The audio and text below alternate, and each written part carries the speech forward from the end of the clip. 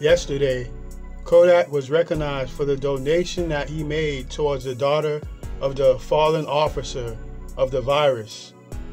And while he was at the place receiving his honor, Kodak had the opportunity to reflect on the loss of Wiz.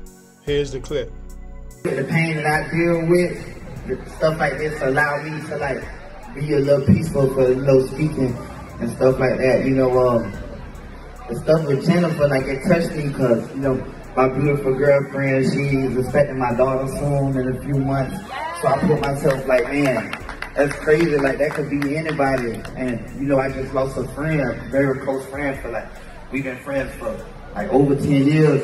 I just lost him yesterday and he got a beautiful baby girl too. So it's like, you know, it's crazy um, dealing with dealing with losing loved ones and stuff like that. It's, it's, it's hard. Like I've been dealing with loss my whole life. You know, my cousin's funeral was yesterday too. So, you know, it's crazy everybody put up with and deal with stuff like in different ways and all that. You know, you know, at the end of the day, we all we got. You know, this ain't nothing to do with politics or white, black, rich or poor.